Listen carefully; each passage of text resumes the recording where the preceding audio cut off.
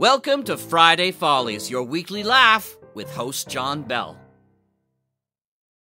Well, greetings to you, one and all, and welcome to St. Patrick's Day and Wednesday Wonders. No. On the Mutual Audio. No, no, no, no, no. It's not Wednesday. What's that you say, laddie? It's not Wednesday. No, it's St. Patrick's Day, Wednesday. No, it's Friday. It is? It is, yes. I think I did a bit too much celebrating. It would look that way, yes. I... So, would you like to know what's on tap for today? I know what's on tap. That's how I've been celebrating. I mean to tell you that today is Friday Follies. No wonders, then. No. Well, no wonder I'm confused.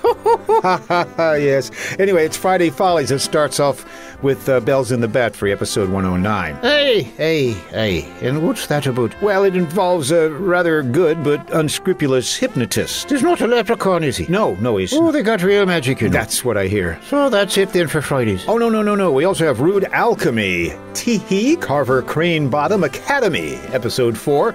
The long awaited Cotillion is almost here. Cotillion. Cotillion. Cotillion. That was the name of my second wife, I think. Uh huh. The perfect time for reconciliation or revenge. Find out in the finale. And it's all coming your way on Friday. One more. One more. One more. Knock me out. Two Minute Danger Theater Blast Off Patrol The Space Queen of Venus Chapter 7. A traitor from Earth is working with Queen Xantabia.